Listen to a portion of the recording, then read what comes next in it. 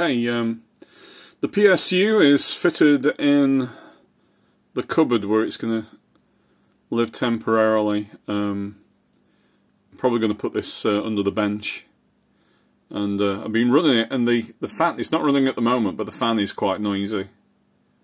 Um, forgot to mention, by the way, the uh, the 5 amp um, terminals, which is fairly standard on the majority of larger power supplies at least.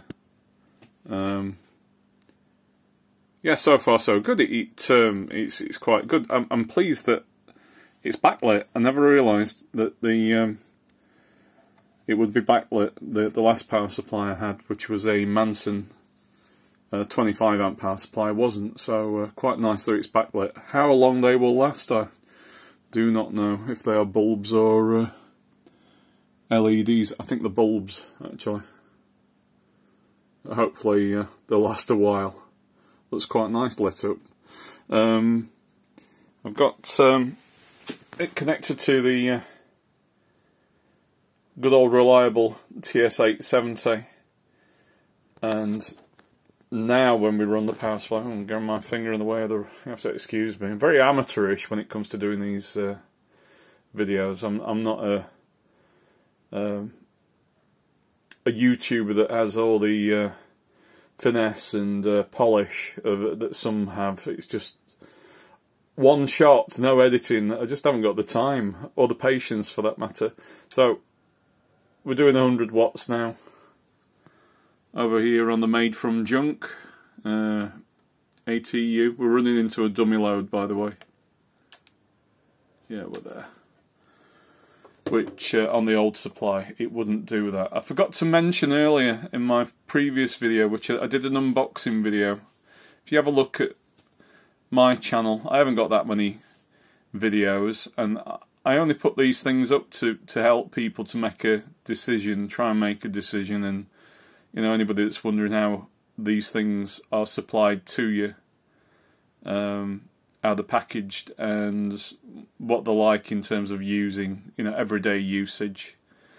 Um, I'm not, uh, I don't go into great technical depth. Apart from anything else, there is a two-year warranty with this uh, power supply, and uh, I don't wish to invalidate it. So there we go. Anyway, uh, I forgot to mention that it's uh, protection. It's got current limitation and short circuit protection as well which you don't always find that on power supplies, uh, especially on some of the cheaper switch mode ones. So uh, it's nice to have some sort of protection in there. So uh, going back up to the uh, power supply, um, been trying to find some feet to fit underneath these.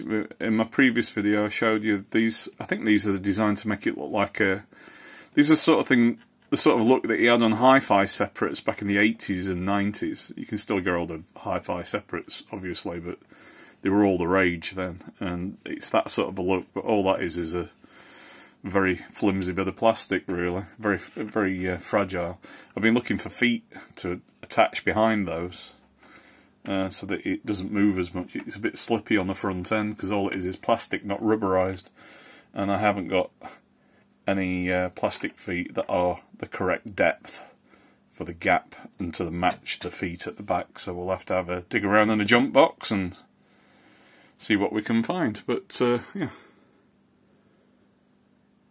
it's very nice. It's um, I think for a hundred pounds for a thirty amp supply, that's not too bad. You can pay an awful lot more. There's obviously some of the bigger brands like Diamond.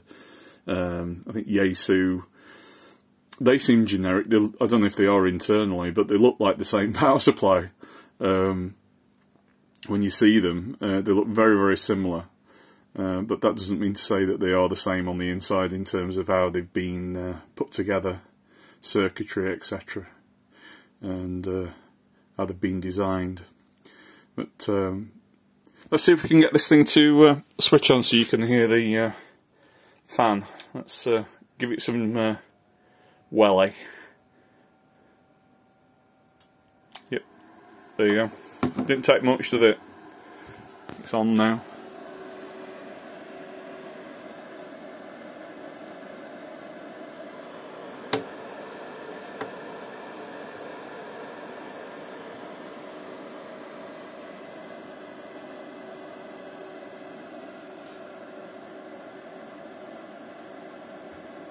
There you go. That's the noise. That's in the seated position in the shack. Sounds like a small hair dryer, doesn't it? I found if I uh, if I close the door just a fraction, that limits it a little bit. But I always leave it ajar so that the uh, air can circulate.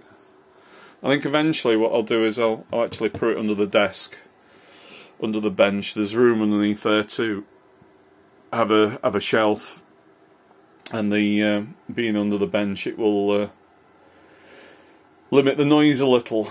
Uh, maybe I know there's a mod you can do. You can fit a new fan, but with it having a two-year warranty, I um, I don't think I'll be doing that just yet. I won't be playing around with it so that I don't invalidate the warranty. Okay, so uh, I hope that helps anybody thinking about buying one of these things. Um,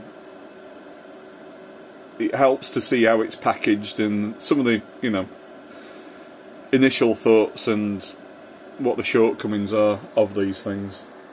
Um, long term reliability, I can't tell uh, tell you that. I can't tell you anything about that because I've only just got the thing.